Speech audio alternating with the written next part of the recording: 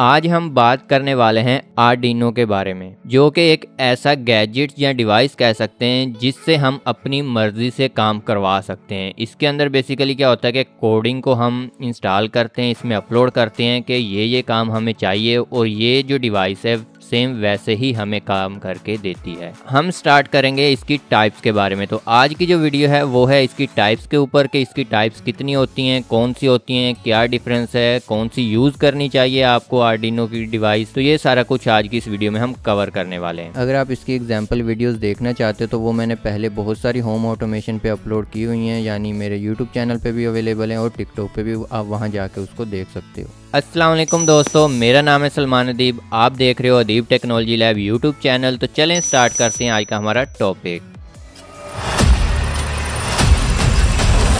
तो यहाँ पे सबसे पहले मैंने एक वेबसाइट ओपन कर ली है, जो कि आपको इसका लिंक डिस्क्रिप्शन में मिल जाएगा। यहाँ आप टाइप कर सकते हो Arduino kit use dot blog spot dot com तो इसके ऊपर यहाँ पे एक पोस्ट है types of Arduino complete detail तो मैं क्लिक करता हूँ।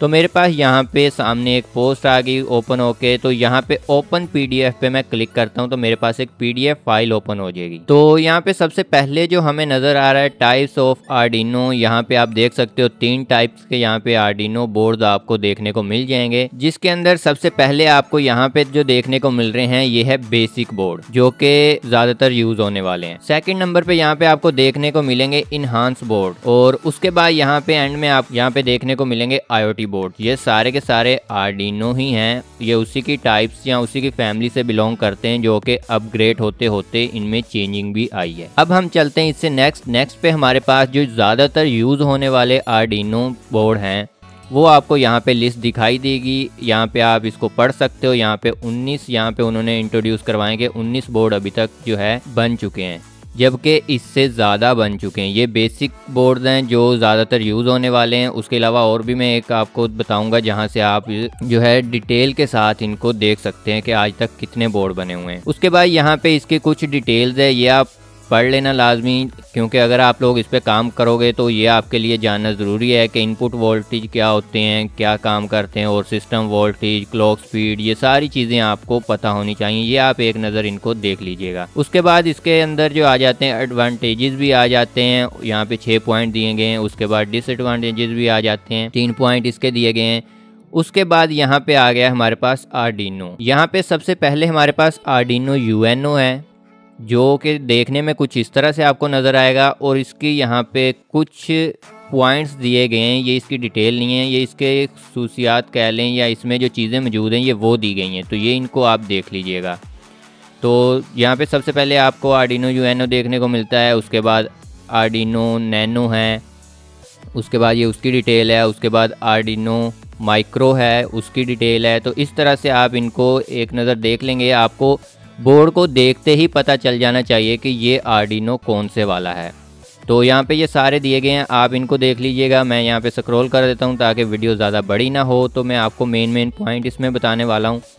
उसके बाद यहाँ पे एंड में आ जाएँगे तो यहाँ पे एक चार्ट ऐड किया है मैंने, जिसके अंदर आपको ऊपर क्या था कि हर किसी की डिटेल उसके नीचे थी। इसमें क्या है, एक चार्ट के अंदर सारी डिटेल है, इसमें बोर्ड्स के नाम दिए गए हैं, उसके बाद वोल्टेज सिस्टम यहाँ पे बताएँगे कि ये जो आर्डिनो हैं, ये कितने वोल्ट सपोर्ट करता है यहाँ पे आप नज़र आ रहा होगा आपको यहाँ पे पाँच वोल्ट ज़्यादातर जो है ज़्यादा पाँच वोल्ट के ही हैं। पाँच वोल्ट के हैं उसके बाद यहाँ पे आपको देखने को मिलेगी इसकी क्लॉक स्पीड। यहाँ पे जो सबसे ऊपर वाला आप देख रहे हो होगे आर्डिनो यूएनओ ये सबसे ऊपर इन्होंने रखा गया है। ज़्यादातर यूज़ होने वाला यही है और इसमें सारी तकरीबन खसूसियात हैं। सोलह मेगा हर्ट्स क्लॉक स्पीड है और बाकी देख सकते हैं यहाँ पे किसी में आठ भी है और यहाँ पे आठ सोलह आठ सोलह इसी तरह ही हैं। उसके बाद है डिजिटल इनपुट, आउटपुट पिन यहाँ पे दी गई हैं। 14 है यहाँ पे तकरीबन सब के, सब में ही। और यहाँ पे एनालॉग पिन दी गई हैं। यहाँ पे 14 है और यहाँ पे किसी में आठ भी हैं छः भी हैं, आठ भी हैं। बाकी यहाँ पे आप देख सकते हो, यहाँ पे इंटरफेस प्रोग्रामिंग देख सकते हो, जिधर से हम ये इंटरफेस का मतलब कि यहाँ से हम इसकी जो है कोडिंग को अपलोड करेंगे। यहाँ पे किसी में यूएसबी पोर्ट है, किसी में एफटीडीआई पोर्ट है और यहाँ पे यही दो पोर्ट यहाँ पे चलती आ रही हैं। तो ये था इसका कुछ बेसिक सा चार्ट उसके बाद हम अगर नीचे आए तो यहाँ पे ये जो बोर्ड मैंने यहाँ पे चार दिए गए हैं, यहाँ पे सबसे ज़्यादा यूज़ होने वाले बोर्ड यही चार हैं। तो आप लोग इन्हीं में से किसी ना किसी को यूज़ करोगे। अगर उससे नीचे आ जाएँ तो हमने यहाँ पे Arduino U N O three का बोर्ड यहाँ पे डिटेल के साथ लगाया हुआ है। ज़्यादा यूज़ होने वाला बोर्ड जो है Arduino U N O R three है हम भी यही यूज़ करने वाले हैं तो इसीलिए यहाँ पे आप इसकी डिटेल पढ़ सकते हैं यहाँ पे आपको इसी बोर्ड के अंदर यहाँ पे एक पिन मिलती है पावर वाली यूएसबी प्लग मिलता है जहाँ से कोडिंग को हम अपलोड करेंगे कोड को यहाँ पे ग्राउंड यहाँ पे हमें तीन देखने को मिल जाती है यहाँ पे एक ऊपर देख सकते हो ग्राउंड पिन एक यहाँ पे है यहाँ से भी हम ग्राउंड कर सकते हैं और एक यहाँ पे दो यहाँ पे नीचे ग्राउंड पिन है और यहाँ पे नीचे ही ये आपको नज़र आती है फाइव वोल्ट भी अगर आपको किसी चीज़ के लिए चाहिए यहाँ से ले सकते हो जैसे सेंसर जितने भी हैं, वहाँ से आप 5 वोल्ट वाले सेंसर यहाँ से उनको जो है करंट दे सकते हैं।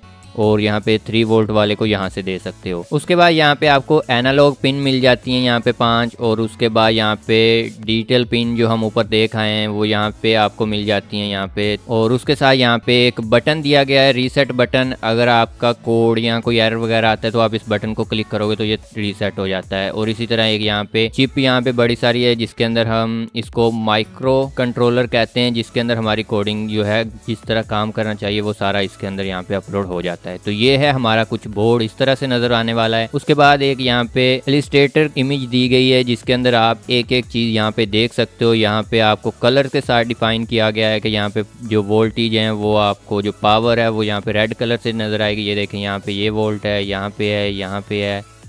और इसी तरह ग्राउंड जो है ब्लैक कलर में किए गए हैं। तो ये आपको समझने में आसानी के लिए ये दो इमेज मैंने डाल दी हैं। आप इन दोनों, इनको देख लेना तो आपको बहुत आसानी से समझ आ जाएगी। बहुत सिंपल सा सर्किट है। बहुत जल्दी आप इसको पिक कर जोगे उसके बाद अब हमने जानना है कि ये तो हैं जो हमने जानने थे कि कितने बने या क्या है। ये सारे बोर्ड वो थे।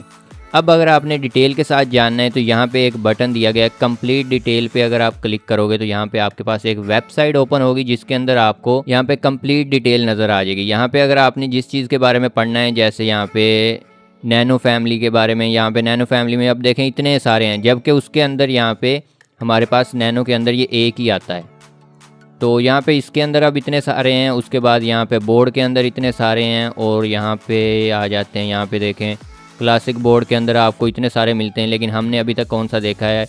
Arduino U N O three देखा है आर थ्री तो मैं इसको ओपन करता हूँ। अब इसकी डिटेल कैसे आपको नज़र आएगी, मैं इसको ओपन करके आपको एक बार दिखा देता हूँ। तो यहाँ पे हमने इसको ओपन किया है और ओपन करते ही यहाँ पे हमारे पास ये दिखता कैसा है, इस तरह से दिखता है। नीचे आप इसके देख सकते हो, इसकी और भी व्यू दिए गए हैं। ये बैकग्राउंड बैक से इस तरह से दिखेगा साइड से ये है। और ये केस भी इसका मिल जाता है प्लास्टिक का जो इससे कवर हो जाता है। और यहाँ पे इसकी प्राइस वगैरह है तो यहाँ पे आपने परचेज यहाँ से नहीं करना, यहाँ से आते हुए महीना भी लग सकता है। मैं आपको एक वेबसाइट बताता हूँ, ये कोई वीडियो स्पॉन्सर वीडियो नहीं है। ये सिर्फ़ वेबसाइट बता रहा हूँ जहाँ से मैंने अब तक पाँच सालों में जो है चीज़ें जो है परचेज़ की हैं। तो यहाँ पे मेरे पास है ई प्रो डॉट पी के तो मैंने कॉलेज से लेके अब तक मैं इसी वेबसाइट से परचेज़ करता हूँ। ये तकरीबन दो दिन के अंदर हमें जो है डिलीवरी कर देते हैं। ये है कहाँ के? लाहौर में है। ये शॉप लाहौर में है और वहाँ से आपको जो है ऑनलाइन जो है आपको डिलीवरी कर देते हैं। तो यहाँ पे वापस हम चले जाते हैं यहाँ पे और यहाँ पे इसकी सारा ओवरव्यू पढ़ सकते हो आप। इधर जैसे पीडीएफ के अंदर इतने डिटेल नहीं दी हुई। अगर आपने किसी और बोर्ड की और ज़्यादा डिटेल चाहिए तो वो आप यहाँ से पढ़ सकते हो। तो इस तरह से आप ओपन करोगे और यहाँ पे आपको एक एक चीज़ उसकी देखने को मिल जाएगी। उसके बाद नीचे हम आ जाते हैं तो यहाँ पे आपको एक और यहाँ पे डायग्राम यहाँ पे एक नहीं बल्कि तीन किस्म की डायग्राम और आपको देखने को मिल जाएँगी। अगर आप इसको बनाना चाहें खुद से या इसको अच्छे से स्टडी करना चाहें कि ये बोर्ड काम किस तरह से करता है तो वो आप यहाँ पे इसको स्टडी कर सकते हो। तो यही था इसका ओवरव्यू हम यूज़ करने वाले हैं Arduino U N O R three तो सबसे ज़्यादा यूज़ होने वाला भी यही है और हम भी यही यूज़ करने वाले बाकी इसी तरह की और वीडियोज़ अगर आप यहाँ पे पोस्टें देखोगे तो इसी वेबसाइट पे आपको और भी बहुत सारी पोस्टें देखने को मिल जाएँगी और बाकी भी जितना डाटा अब आने वाले दिनों में अपलोड करने वाला हूँ, वो इसी वेबसाइट से आपको एक्सेस मिलेगी। तो मिलते हैं नेक्स्ट वीडियो में, तब तक के लिए खुदा हाफिज़।